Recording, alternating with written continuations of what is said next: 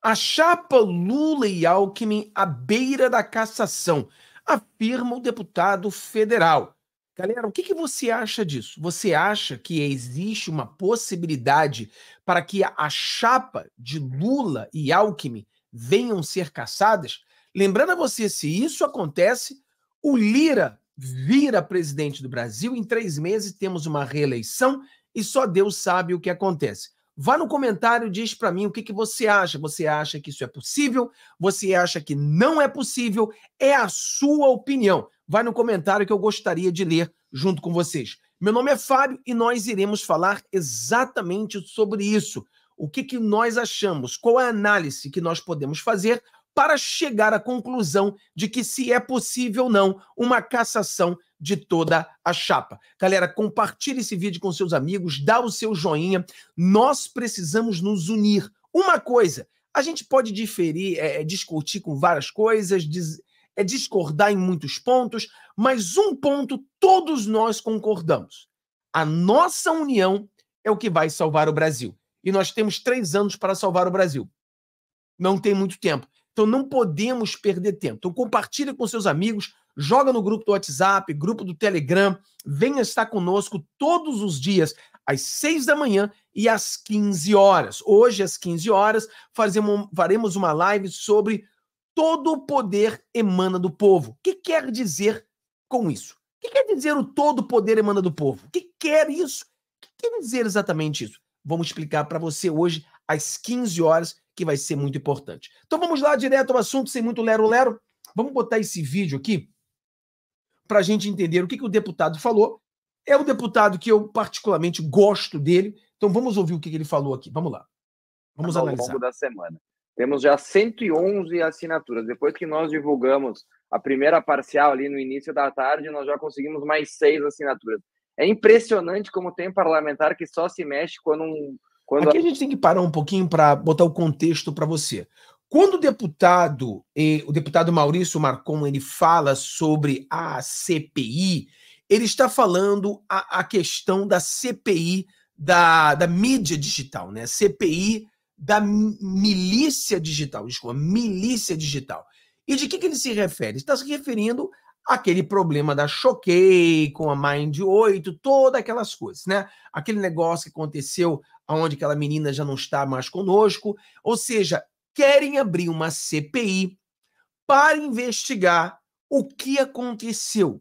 Tinha dinheiro público, tinha dinheiro do Lula, o Lula estava envolvido, a esquerda estava envolvida, a manipulação que foi feita ela foi feita porque alguém pagou ou tudo foi feito grátis? O que realmente aconteceu? Se foi pago, esse dinheiro está é, sendo mostrado, porque existe o, portal da transparência. Esse dinheiro está no portal da transparência, foi mostrado para todo mundo. O que está acontecendo nesse nosso Brasil? Então é isso que é o contexto dessa CPMI. Vamos continuar lá. Vamos lá. O cidadão vai lá e cobra dele, né? E é assim que acontece em Brasília. Tem o, a oposição está muito confiante que conseguiremos essas assinaturas. Agora, no período de recesso, um tanto quanto mais complicado, porque, como eu falei para vocês, tem parlamentar que tem que sentir a pressão do povo no cangote, senão não assina. É interessante né, o que ele fala aqui. Né? O parlamentar tem que sentir a pressão do povo, senão ele não assina. Pessoal, isso aí sempre foi, sempre será eu e você, por isso que o nosso trabalho do processo político, entender o processo político é tão importante, porque nós somos aquelas pessoas que pressionamos aos deputados e senadores para fazer essas coisas. Por exemplo, quando eles queriam passar aquela pele da fake news, ela não passou porque você, eu, nós juntos, nós pressionamos para que aquilo não fosse passado, por isso que não passou. E os deputados, eles estão ouvindo aquilo que você fala. Se ninguém fala nada, nada acontece. Vocês têm que entender isso. Mas eu acho que ela vai acontecer. Afinal, a gente tem que entender que muito mais do que uma eleição pode ter sido interferida por causa dessa milícia, a gente teve a perda de uma vida de uma menina de só 22 anos que poderia ser nossa irmã, nossa filha, né? E ela foi morta por um por inconsequentes que buscam na internet se dizem tão comunistas, gostam tanto do comunismo, mas fazem de tudo, inclusive matam por causa de dinheiro. Então... É, realmente, nós sabemos que houve manipulação, é fato isso aí, e, e eu sempre debato no, nos meus vídeos às 15 horas, e repito muito que o maior problema do Brasil e do mundo é a manipulação, né? A gente faz a live uma hora, depois temos uma hora de debate, se nós alcançarmos o nosso objetivo, e a gente debate sobre isso. Eu sempre falo dessa manipulação. E eu acho que agora, com a descoberta da Choquei, como o deputado falou, que nós pensávamos que a direita está muito forte dentro da mídia digital, mas nós descobrimos que esses perfis de fofoca, eles alcançavam 100 milhões de pessoas por semana. Então, é 100 milhões de perfis por semana. É muita coisa, pessoal. Então, você vê que a esquerda realmente ela tem o poder da manipulação em suas mãos. Por isso que você vê tantas pessoas sendo manipuladas sempre. A gente tem que investigar sim. Existem, eu acho, indícios fortes. É muito estranho imaginar que 400 influenciadores tenham trabalhado gratuitamente para o governo para ter agora o governo atual tem para Lula para ele ganhar uma eleição. Então eu acho que a gente precisa aprofundar sim. E como o próprio TSE 400, pessoal. 400 perfis, 400 perfis, 400 influenciadores trabalharam para eleger o Lula. 400.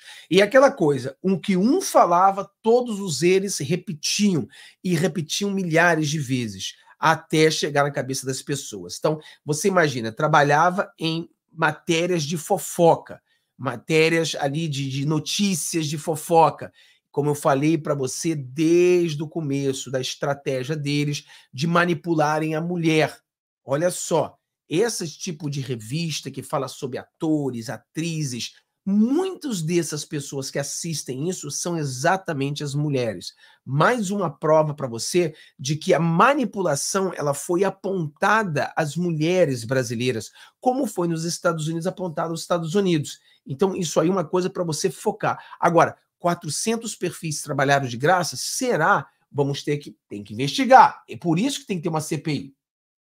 Entendeu? Se houver comprovação, se houver um X9 nesses 400 que entregue o que provavelmente realmente aconteceu, eu acho que a chapa Lula Alckmin corre sim grande risco de ser caçada. Mas Marcon, tu acha? Olha, o TSE já caçou o registro de uma candidatura pela comprovação de contratação ilícita de um influencer. O que dirá de 400? Ou vai mudar novamente o entendimento. Mas eu acho que a gente tem que fazer essa investigação. Como eu falei no início, uma pessoa perdeu a vida que a gente sabe. E quantas mais perderam, talvez, noites de sono e tantas outras coisas, saúde, por causa, de, por causa dessas mentiras absurdas que a gente veio vendo nesses últimos tempos. Nós imaginávamos, a direita, que a internet era um lugar onde nós controlávamos. Eu, particularmente, imaginava.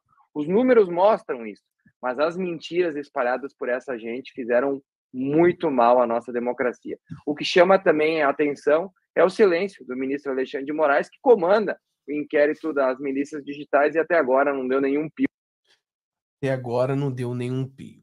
Vamos lá. Então ele falou que são 400 perfis, são 400 pessoas, né, ou talvez mais.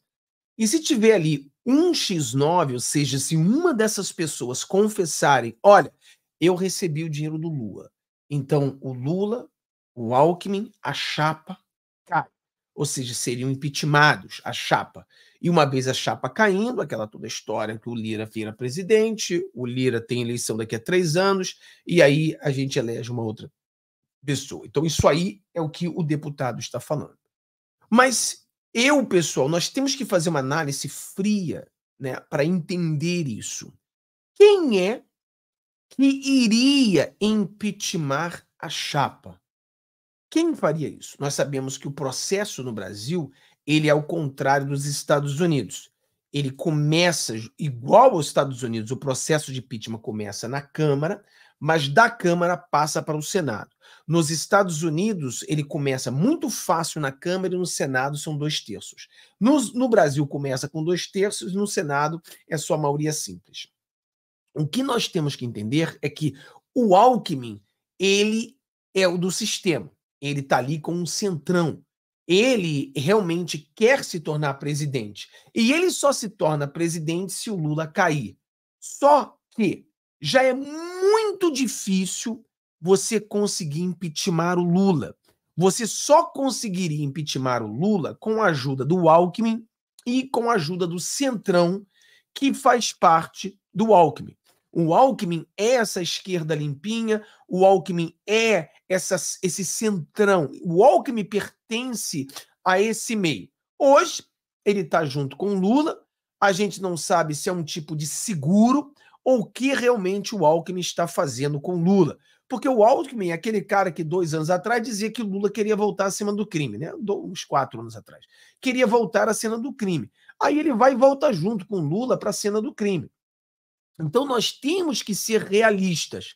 Sempre acreditar numa virada de jogo, sempre acreditar na vitória da direita, mas realistas. Por quê? Porque nós temos que observar o processo político. E o processo político, o processo de impeachment de uma chapa, cara, se é difícil impeachment o Lula, que é um comunista e não é do Centrão, e mesmo assim é difícil a gente encontrar dois terços, uma maioria, para poder impeachment o Lula, muito menos seria a gente encontrar um Centrão que vai impeachment o Lula e o Alckmin, que pertence ao Centrão. O Centrão não gosta do Lula. O Centrão está usando o Lula. O Lula virou capacho do Centrão. Isso é fato. Agora, o Alckmin é o Centrão. Então, como é que, como é que eles vão derrubar um deles? Ah, Fábio, eles vão derrubar o Alckmin para colocar o Lira, que também é Centrão. Então faz o sentido. Olha, eu acho muito improvável que isso aconteça. Eu não vejo a menor possibilidade para que a chapa venha cair. Eu acho que, cara, não há essa possibilidade. Eu quero apoiar a CPI. Tá faltando 60 assinaturas. Isso aí até dois dias atrás, faltava mais ou menos 60 assinaturas, porque o pessoal está de férias, daqui a pouquinho chega, vamos ter assinatura. Eu acho que a CPI vai ser muito boa, porque vai ser criado uma narrativa, o povo brasileiro vai ver quem realmente é o gabinete do ódio, a direita brasileira vai poder mostrar o que realmente é o ódio da esquerda, vai poder mostrar para todo o povo brasileiro que o PT, o petismo, o lulopetismo é uma extrema esquerda. Isso vai ser mostrado. Então, por isso que eu torço para essa CPI. Mas acreditar que essa CPI vai cair a, a, a chapa Lula e Alckmin, e como ele falou, ah, não, mas já aconteceu antes. Sim, já aconteceu antes, seu deputado, mas não era o Lula. Se o próprio Bolsonaro e o Mourão eles tentaram caçar a chapa do Bolsonaro e não conseguiram. Você imagina se o Mourão e o Bolsonaro, que o sistema realmente queria derrubar, não conseguiram derrubar a chapa, você acha que eles vão derrubar a chapa Lula e Alckmin? Realmente eu não vejo a possibilidade para que isso aconteça. Eu falo para você que a probabilidade do Lula ser impeachmentado é muito pouca. Ela tem que começar agora esses pedidos de impeachment e ele será impeachmentado até finalzinho de 2025. Porque chegando em 2026, ano de eleição, ninguém impeachment ninguém. Ele será, na minha opinião, impeachmentado em 2026 com o voto. O povo vai às ruas e vai impeachment o Lula, vai votar para que o Lula saia da política. Eu acho que esse vai ser o impeachment verdadeiro. tenho repetido bastante às pessoas que o Lula ele tem o tempo de validade.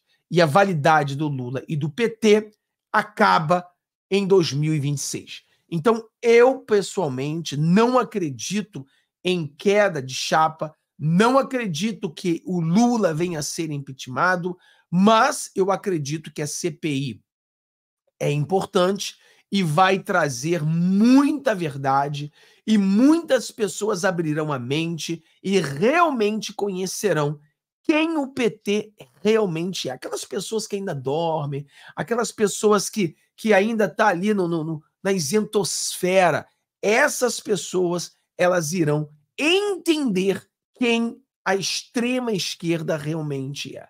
Então, acho que esse é o ponto. Eu acho que temos que ter o pé no chão. Mas, Fábio, não. Eu acredito que vai cair a chapa. Você tem todo o direito de acreditar. Você tem todo o direito. Então, eu acredito, você acredita, todo mundo tá bem, tá bom? Galera, não esqueça, às 15 horas voltaremos e lá você vai ter oportunidade de fazer pergunta, oportunidade de debater, oportunidade de aprendermos muito, tá bom? Deus abençoe a todos, tenha um dia maravilhoso, te vejo no próximo vídeo. Tchau, tchau, galera. Um abração.